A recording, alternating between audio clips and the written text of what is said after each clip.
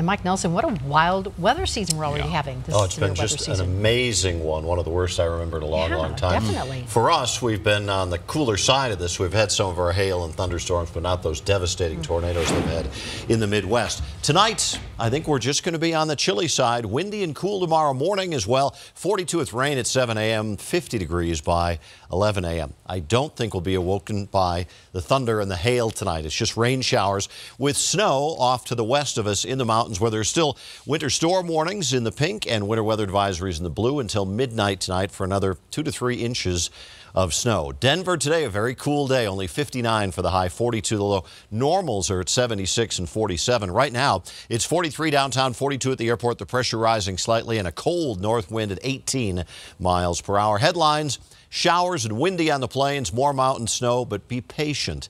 It does get better. Let me show you this large storm system across the Midwest from the low in Utah all the way to the East Coast. We've had showers, thunderstorms, rain, snow, severe weather. We're on the cool backside of it, and it's the last part of the storm for Colorado. So still some snow on the mountainside, rain showers on the plains as this last low pressure system crosses the state tonight and tomorrow.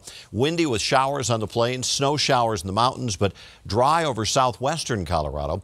A cold night, 38 in Denver, 40 at Fort Collins and Greeley, Akron, Sterling, 38 at Limon, 24 in Leadville. Mountains will be upper 20s to low 30s in the morning, upper 30s to low 40s at lower elevations with rain showers, windy and chilly across northeast Colorado, snow showers in the mountains.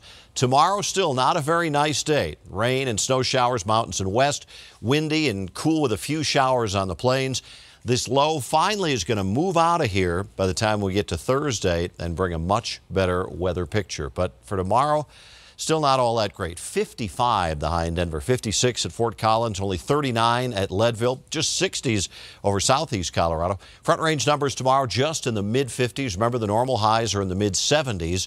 Mountains will stay in the 40s, but it's the last of these lousy days. Showers, windy and cool tonight, a gusty north wind, and 38 for a low temperature.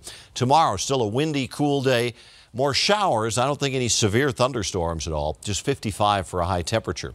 Then, much nicer. Thursday, partly cloudy, warming up to 67. Sunny and warmer on Friday with a high of 75. Saturday, expect 80. Sunday, maybe a few afternoon storms and 82. 85 coming up on Monday, warm and pleasant.